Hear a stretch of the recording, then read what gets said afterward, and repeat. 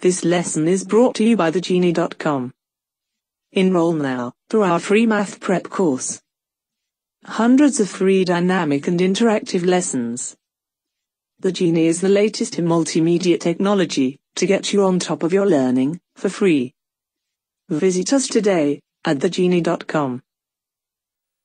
We need to compute the distance from a given a point P and a general line L with the rule ax plus by plus c is equal to 0. This line equation form is the general form, as we have the right-hand side equal to 0.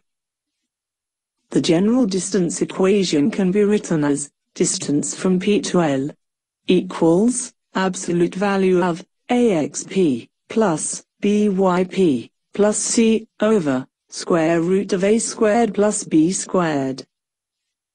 An easy way to remember this equation is to notice that we have simply applied the equation of the line on the coordinates of point P to get the numerator. In the denominator, we have the norm of the coefficients of x and y in the line equation.